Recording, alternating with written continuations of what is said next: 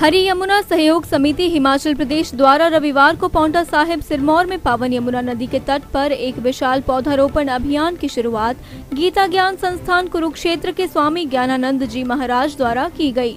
इसके तहत पौंटा साहिब में यमुना घाट से हरियाणा में हथनी कुंड में 20 किलोमीटर यमुना तट पर इस मानसून सीज़न के दौरान लगभग पचास हज़ार पौधे रोपे जाएँगे इस दौरान हिमाचल के ऊर्जा मंत्री सुखराम चौधरी और हरियाणा के वन मंत्री कंवरपाल सिंह ने भी पौधारोपण करके अपनी सरकारों की इस अभियान में पूरी सहायता और सहयोग प्रदान करने की प्रतिबद्धता दोहराई। पाउंटा साहिब के यमुना तट पर लगभग 500 पौधारोपण किया गया।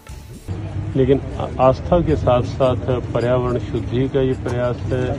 आस्था के साथ साथ समाज को जोड़ने का ये प्रयास है, साथ ही साथ श्रद्धालुओं के भीतर एक नया भाव उत्पन्न करने का प्रयास है, जैसे हम देखते हैं कि नर्मदा परिक्रमा के रूप में, नर्मदा के साथ साथ चल करके लाखों लाखों लोग प्रतिवर्ष आस्था भी बढ़ाते हैं और उस नाते से सरकार भी, समाज भी जहाँ जहाँ भले मध्य प्रदेश सरकार, गुजरात सरकार और भी जो जो प्रांत आते हैं नर्मदा जी के साथ, वो सब मिलकर के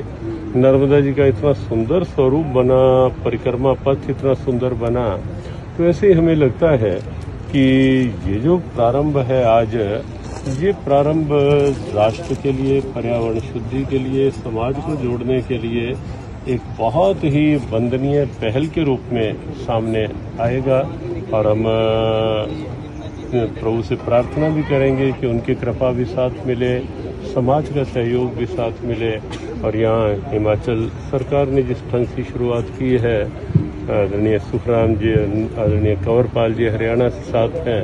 तो हमें विश्वास है कि ये पहल एक प्रेरणा के रूप में प्रयागराज तक पहुंचेगी। दिव्य हिमाचल टीवी के लिए पौंटा साहिब से धीरज चोपड़ा की रिपोर्ट।